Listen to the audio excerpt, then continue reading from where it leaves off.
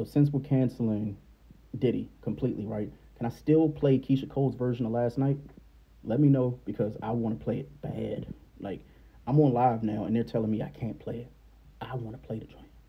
It's a bop to me. Like I remember the episode and I was so I was like, yo, fuck, like Keyshia Cole can actually sing. She can actually sing. So yeah, let me know in the comments, like if we canceling Diddy, can I at least still play Keyshia Cole's Last Night? Because it's no longer his song. Just let me know if I can play Last Night, at least her part. Because that, that ending, when she hit that, and I, yeah, mm, mm, mm, mm. I'm so mad. I'm so mad. Let, let me know. Because I, I really want to play the song.